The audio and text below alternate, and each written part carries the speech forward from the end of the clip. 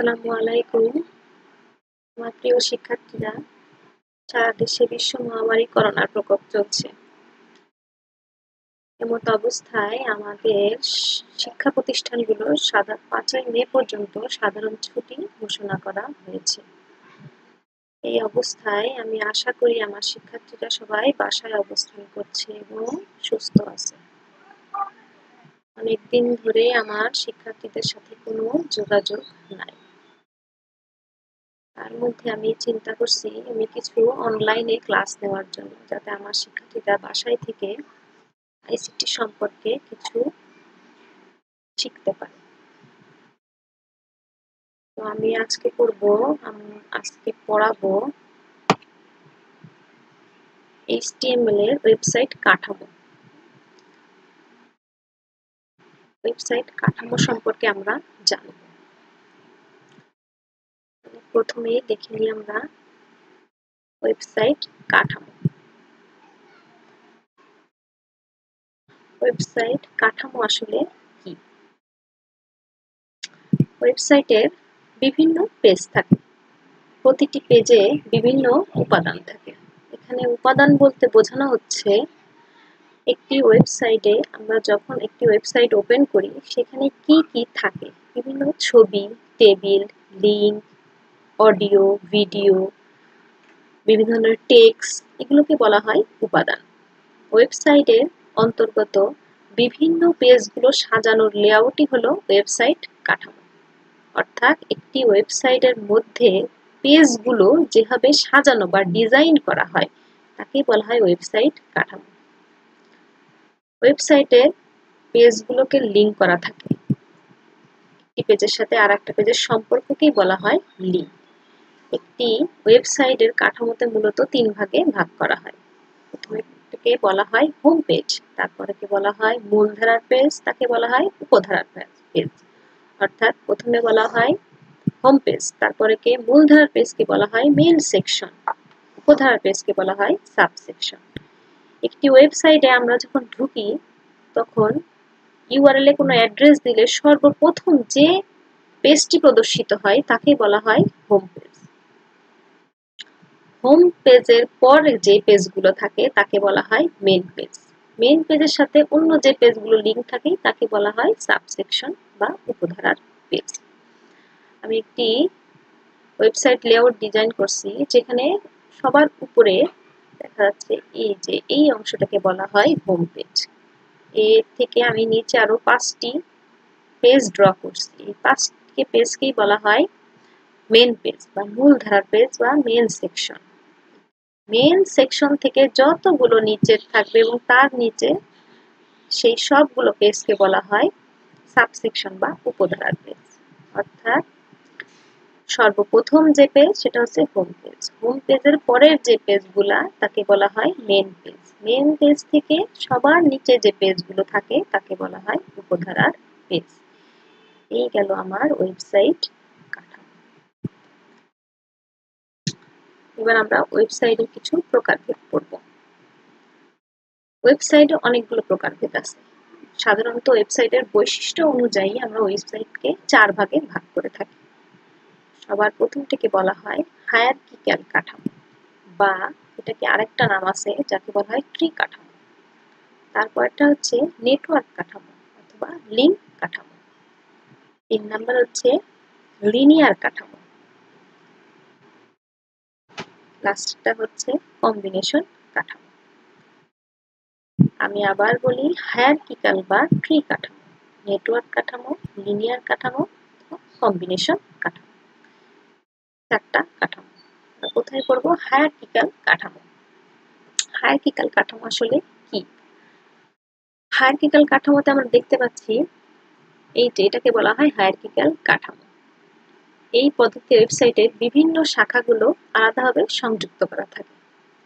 এতে করে ভিজিটররা যখন ভিজিট করে ওয়েবসাইটে তখন সহজে বুঝতে পারে যে তার কোন অংশে প্রয়োজনীয় তথ্য থাকবে। সাধারণত আমরা একটা স্কুল কলেজের যে ওয়েবসাইটগুলো ডিজাইন করে থাকি, সেগুলো এই হায়ারকিক্যাল কাঠামোতে ডিজাইন করে থাকি। যেমন ওদের কলেজে সাধারণত তিনটি বিভাগ থাকে। একটি হচ্ছে মানবিক বিজ্ঞান এবং ব্যবসা। আমি এখানে তিনটা বিভাগ অঙ্কন করছি, আর্টস, সায়েন্স এবং কমার্স। এখন কোনো শিক্ষার্থী বা কোনো ভিজিটর যদি ওয়েবসাইট ভিজিট করে অ্যাকাউন্টিং এর কোনো সার সম্পর্কে জানতে চায়, সে কোন অংশে ঢুকবে? অ্যাকাউন্টিং যেহেতু এটা ব্যবসা শাখার ছাত্রছাত্রীরা পড়ে থাকে তো এটা আমাকে প্রথমেই যেতে হবে কি? কলেজ। কলেজ থেকে যেতে হবে কমার্স। কমার্স থেকে অ্যাকাউন্টিং এ গেলে সে সহজেই অ্যাকাউন্টিং এর সার সম্পর্কে জানতে পারবে। আবার ফিজিক্সের কোনো স্যারের ফোন নাম্বার যদি আমার প্রয়োজন হয়ে থাকে, আমি কীভাবে ঢুকব? কলেজ থেকে যে আমি সায়েন্স ফিজিক্স যেহেতু বিষয়, তো ফিজিক্স তো মানবিক অথবা কমার্সের কোনো স্টুডেন্টের থাকবে না। তো ফিজিক্স পড়বে কারা? বিজ্ঞানের ছাত্রছাত্রী তো আমি স্বাভাবিক বিজ্ঞান শাখায় ঢুকবো। সায়েন্স সায়েন্স থেকে ফিজিক্সে ঢুকলে আমরা কি? স্যারের ফোন নাম্বারটা পেয়ে যাব। এজন্য স্কুল, কলেজ, ব্যবসায়িক প্রতিষ্ঠানগুলো এই ধরনের ওয়েবসাইট ডিজাইন করে থাকে এবং এটার ব্যবহারও কি অনেক সুবিধা। সবচেয়ে বেশি সুবিধাজনক হচ্ছে এই হায়ারকিক্যাল কাঠামো বা ট্রি কাঠামো। পরেরটাই পড়ি। পরেরটা হচ্ছে নেটওয়ার্ক কাঠামো। নেটওয়ার্ক কাঠামোটা সাধারণত চিত্রটা দেখেই মনে হচ্ছে একটু জটিল। সংজ্ঞায় লেখা আছে কি, এই ধরনের ওয়েবসাইট কাঠামোগুলোতে সবগুলো পেজেরই একে অপরের সাথে লিঙ্ক থাকে। আমরা যদি প্রথমটা মেন পেজ চিন্তা করি, তাহলে মেন পেজের সাথে পরের পেজগুলো কি লিঙ্ক আবার পরের পেজগুলোর সাথেও কি আবার মেন পেজের সাথে লিঙ্ক আছে? এটা এটা এটা যদি মেন পেজ চিন্তা করি, তাহলে এগুলোর সাথে নিচেরগুলো কি? লিঙ্ক যে আরও চিহ্ন দিয়ে কি আমরা লিঙ্ক করছি? আবার এইগুলোর সাথেও কি? উপরের পেজগুলো লিঙ্ক আছে।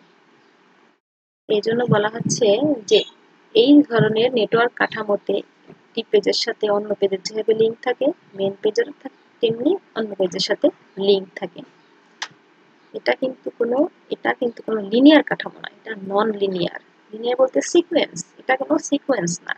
এটি একটি নন লিনিয়ার কাঠামো এবং জটিল কাঠামো। জটিল বলা হচ্ছে এই কারণে যেটার অনেকগুলা লিঙ্ক থাকে, এই জন্য বলা হচ্ছে কি এটা জটিল কাঠামো।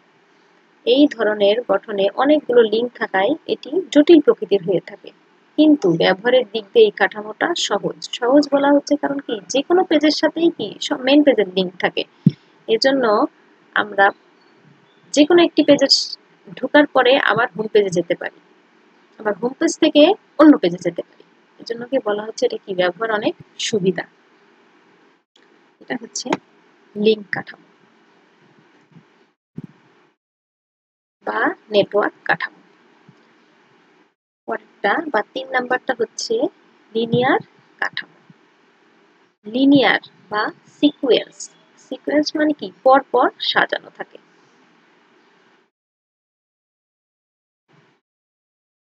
যখন কোনো ওয়েবসাইট পরপর সাজানো বা সিকুয়েন্স বা নির্দিষ্ট সিকুয়েন্স অনুসারে পেজগুলো ভিজিট করার প্রয়োজন হয়, তখন লিনিয়ার কাঠামো ব্যবহার করা হয়ে থাকে। সাধারণত একটার পর একটা পেজ আসে। কোন পেজের পর কোন পেজ আসবে তা ওয়েবসাইট ডিজাইন করার সময় ঠিক করা থাকে। এই ধরনের পেজগুলোতে সাধারণত নেক্সট প্রিভিয়াস লাস্ট ফার্স্ট ইত্যাদি ব্যবহার করা হয়ে থাকে। আমরা যখন এইচএসসি ভর্তির অ্যাডমিশনের জন্য যদি কেউ নিজ হাতে আবেদন করে থাকবে তাহলে ওখানে দেখতে পারব সর্বপ্রথম আমরা কি দিয়ে থাকি? একটি রেজিস্ট্রেশন নাম্বার অথবা রোল নাম্বার এবং বোর্ডের নাম। দিলে নেক্সট দিলে কি? পরের পেজ আসে। পরের পেজের ফর্ম ফিল আপ করার পরে সেখানে হয়তো বা তোমার নাম এসএসসি রোল নাম্বার এগুলো দেওয়া থাকে। ওইটা ফিল আপ করার পরে কি আবার নেক্সট পেজে যেতে হয়। একটার পর পর পেজ আসে। একটা পেজ স্কিপ বা বাদ দিয়ে অন্য পেজে যাওয়া সম্ভব হয় না। সেটাই হচ্ছে কি? লিনিয়ার কাঠামো। এই পেজের বিভিন্ন অর্ডার লিঙ্ক থাকে, যেমন পর পর একটার পর একটা। ছবিতে দেখা যাচ্ছে আমি প্রথমে কি একটি মেন পেজ অঙ্কন করছি। মেন পেজ অঙ্কন করছি। মেন পেজের সাথে পরের পেজ তারপর এখানে তারপর এখানে। এখন যদি আমি এই পেজে যেতে চাই, তাহলে আমি কীভাবে যাব? সর্বপ্রথম কি? মেন পেজ মেন পেজ থেকে পরেরটা, তারপরেরটা তারপরেরটা তারপরেরটা, এইভাবে। কিন্তু আমি একবারে মেন পেজ থেকে এইখানে পেজে আসতে পারব না। আমাকে তিনটা পেজ অতিক্রম করার পরে তারপরে আমাকে এই পেজে আসতে হবে। একইভাবে যদি আমি এই পেজে যেতে চাই, তাহলে কীভাবে যাব? মেন পেজ থেকে এইটা তিন নাম্বার পেজ, তারপরে এই পেজটাকে দেখতে পারব। এটাকেই বলা হয় কি? লিঙ্ক বা লিনিয়ার কাঠামো। সিকোয়েন্স অনুসারে থাকে। এটাকে বলা হয় লিনিয়ার বা লিঙ্ক কাঠামো। আমাদের পরীক্ষার সময় লিনিয়ার কাঠামো এবং ট্রি কাঠামোটা আমরা বেশি দেখতে পাই। লাস্টে একটা হচ্ছে কম্বিনেশন কাঠামো বা হাইব্রিড কাঠামো। হাইব্রিড হাইব্রিড বলতে আমরা বুঝি কি? সংকর একটির সাথে আরেকটি কি? মিলানোকেই বলা হয় কি? সংকর এটা হচ্ছে কম্বিনেশন কাঠামো। যখন একাধিক স্ট্রাকচার একাধিক স্ট্রাকচার মানে একাধিক কাঠামো। একাধিক কাঠামো বলতে বোঝায় আমি ট্রি কাঠামো এবং লিনিয়ার কাঠামো এক করে যদি কোনো কাঠামো তৈরি করি, সেটাই হবে কম্বিনেশন বা হাইব্রিড কাঠামো। অথবা দুইয়ের অধিক। আমি ট্রি কাঠামো ব্যবহার করলাম নেটওয়ার্ক কাঠামো ব্যবহার করলাম লিনিয়ার কাঠামো ব্যবহার করলাম। তিনটি কাঠামোই যদি ব্যবহার করে থাকি, তাহলে সেটা হয়ে যাবে কি? হাইব্রিড অথবা কম্বিনেশন কাঠামো। কম্বিনেশন কাঠামো ব্যবহার করলে ওয়েবসাইটে ওয়েবসাইট ডিজাইন করলে ওয়েবসাইটের সৌন্দর্য বৃদ্ধি পায় এবং ভিজিটাররা ভিজিট করেও মজা পায়। আমাদের গুগলের, বেশিরভাগই এখন আমাদের যে ওয়েবসাইটগুলো ডিজাইন করা হয়ে থাকে, সবগুলোই কি? হাইব্রিড কাঠামো। গুগলে আমরা যে স্ট্রাকচার দেখতে পাই গুগলের ক্ষেত্রে, সেটা হচ্ছে হাইব্রিড কাঠামো। লেখা আছে কি? যখন একাধিক স্ট্রাকচার ব্যবহার করে ওয়েবসাইট ডিজাইন করা হয়, তখন তাকে কম্বিনেশন বা মিক্সড স্ট্রাকচার বলা হয়। এখানে স্ট্রাকচার ব্যবহার করলে ওয়েবসাইটের সৌন্দর্য যেমন বৃদ্ধি পায়, তেমনি ভিজিটরদের জন্য ভিজিট করাও কি? সহজ হয়। এটাই হচ্ছে ওয়েবসাইট কাঠামো। সর্বপ্রথম আমরা আর একবার দেখে আসি।